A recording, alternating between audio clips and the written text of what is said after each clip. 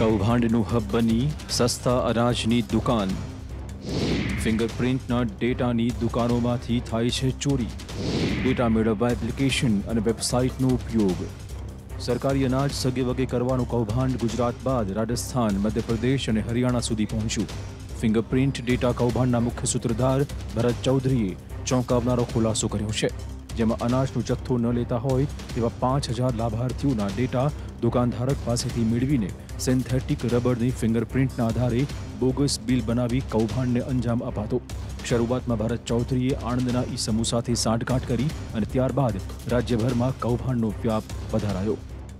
ભરત ચૌધરી અને દુષ્યંત પરમાર જે મુખ્ય આરોપી હતા એની ધરપકડ કરેલ હતી અને આ જે સમગ્ર કૌભાંડ છે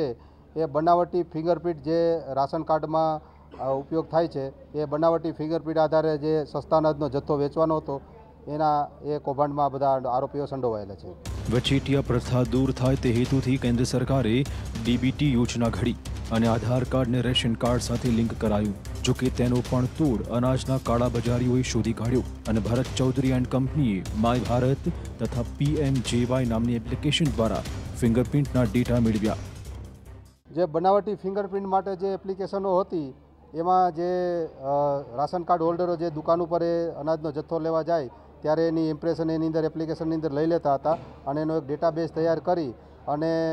એને રાશન કાર્ડના ડેટા સાથે એડ કરી અને આ સમગ્ર કૌભાંડ આચરતા હતા અન્ય રાજ્યોમાં પગ પેસારો કરવા આરોપીઓએ આયુષ્યમાન કાર્ડ યોજનાને આધાર પણ બનાવી અને કાર્ડનો કોન્ટ્રાક્ટ મેળવ્યો હોવાની વાત કરીને ગુડગાંવના નગરસેવકની મદદથી વીસ હજાર નાગરિકોના ડેટાની ચોરી કરી લીધી જોકે સિફતપૂર્વક આચરાયેલ કૌભાંડની સાયબર સેલ દ્વારા તપાસ થઈ રહી છે તેમ મુખ્ય સર્વરથી માંડીને કેન્દ્રીય આઈએનસી સુધીની તપાસમાં સરકારી બાબુઓની સંડોવણીની આશંકા છે ત્યારે જોવું રહેશે કે આ કૌભાંડમાં નવા કયા ખુલાસા સામે આવે છે Yunus Ghazi TV nine Ahmedabad